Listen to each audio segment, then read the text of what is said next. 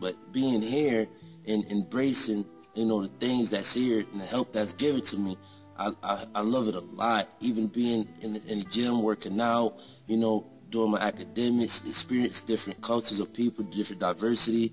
It's really so much love everywhere, and I could just feel that. And I thank you for everybody that's helping me in my life, you know, to move on. If it wasn't probably for Job Corps, I probably wouldn't be standing here right now, you know, saying this. And I, I probably still would be in the streets, you know, doing the same old thing I was. But now I know I do have a second chance, and I do have a, a second desire that I can do in life. And I just want to thank everybody.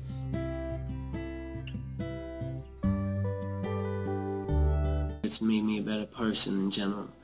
And honestly, this place gives me hope for all of society.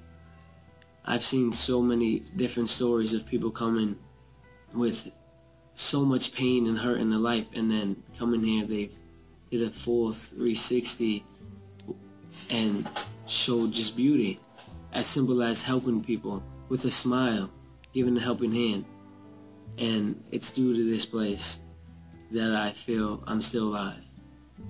And I thank God for that. And I thank Job Corps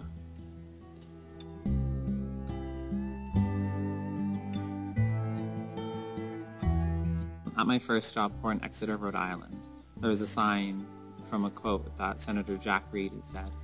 Um, it says, this is a first-class place for first-class people. That's exactly what Job Corps is. It's a place where young, troubled students come and um, learn how to lead better lives. And everybody comes here for a different reason, but we all have one goal, to better ourselves and be productive in society.